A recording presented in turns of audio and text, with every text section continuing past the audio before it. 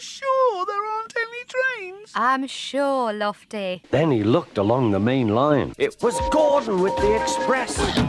Get me to.